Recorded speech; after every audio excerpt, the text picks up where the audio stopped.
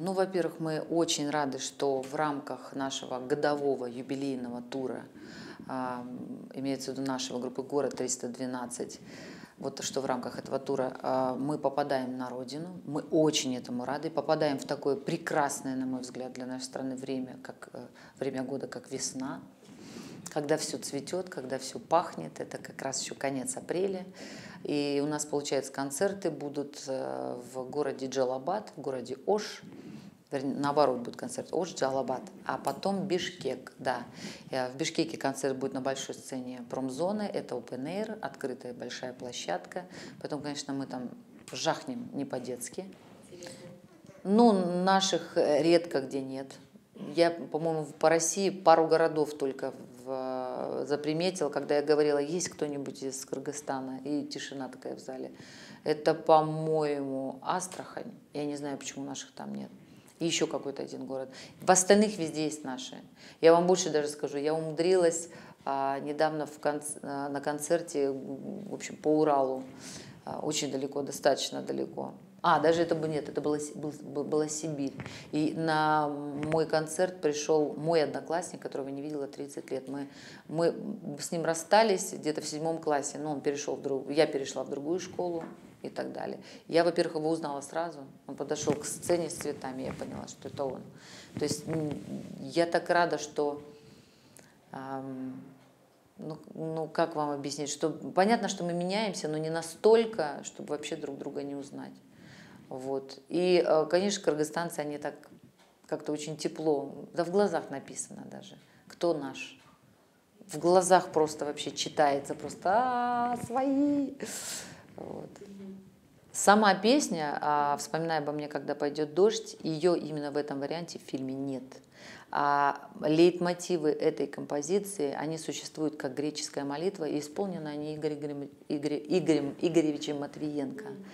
А уже после картины, а, то есть эта песня, она записывалась дня, записалась дня за четыре до начала, собственно, премьер, да, до самой основной премьеры этого фильма в городе Москве.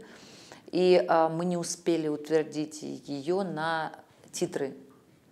А, и она вышла уже пост, уже в качестве как и рекламы для фильма «Викинг», ну и вообще как интересная работа. А вот то, что внутри картины происходило, темы Владимира, князя Владимира, вот там уже я напевала их э, без текстов, они все идут э, вокально, эм, скажем так, просто вокально-мелодичные, мелодические. Так вот, там, конечно, работа просто, вот, на мой взгляд, настолько интересная. Я так рада, что мне вообще мне предложил Игорь Игоревич поработать в этом направлении.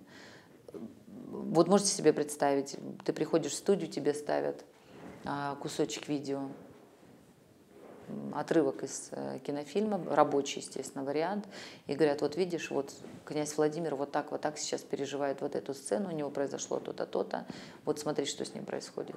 А теперь он наигрывает, он ставит за инструмент, он наигрывает музыкальный кусок, гармония меняется, аккорды меняет, и ты, да, и он говорит, закрывай глаза и вот представь, что ты душа князя Владимира, и ты просто вот это все вот выкладываешь, ты это проговариваешь, пропиваешь.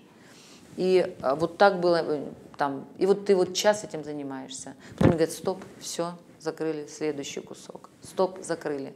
Потом я ухожу, и они сидят вместе с э, помощниками, а потом уже и с продюсером картины, да, там с помощником или с режиссером э, картины, скорее всего. И вот они сидят и выбирают, что подходит, что не подходит.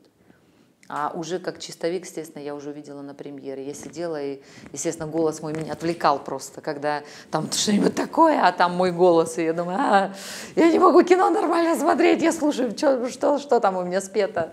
Вот.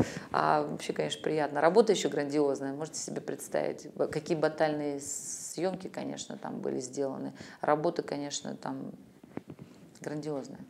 А, пожелание, ну, одно не меняется. Я очень хотела бы, чтобы у нас все-таки в Кыргызстане воцарил мир, благополучие и стабильность, самое главное. И это будет всегда звучать из моих уст. Я, поверьте мне, я не перестаю гордиться нашими кыргызстанцами. Я радуюсь каждой победе. Я радуюсь каждой какой-то, не знаю, услышанной хорошей новости. Я бы сейчас, знаете, как еще хотела бы сказать? Вот сейчас самое время верьте в то, что а, изначально народ Кыргызстана, он знаете, как это сказать, он, он наполнен светом.